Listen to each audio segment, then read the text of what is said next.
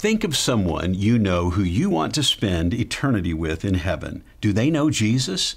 Do they know that you know Jesus? You see, assuming your friend doesn't want to know about Jesus is very dangerous. Just because they know you're a believer but they've not asked about your faith doesn't mean that they're closed off to it. They most likely don't know how important faith in Jesus really is. Most Christians can trace their spiritual roots to either a relative or a friend who just told them about Jesus.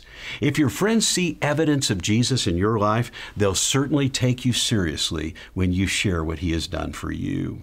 You may feel like talking about your faith to your friend will make them uncomfortable or run them off, but in reality, don't you think the best way that you can love your friend is by sharing with them the eternal security that you found in Jesus? If you'll ask to share what Jesus means to you and how he can change anyone who will turn to him, your friend will see your love and appreciate you coming to them about their spiritual life. So here's my challenge to you ask a friend to meet you for dinner or for coffee and tell them you have something important that you'd like to share with them regarding spiritual matters. Leave it at that.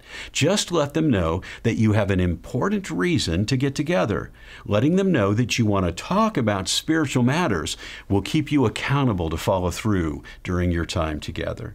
Share the gospel in love with your friend and express your concern that they may not know what Jesus has done for them.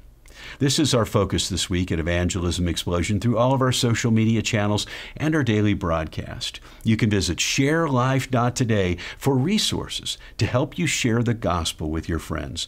May God richly bless you this week as you do.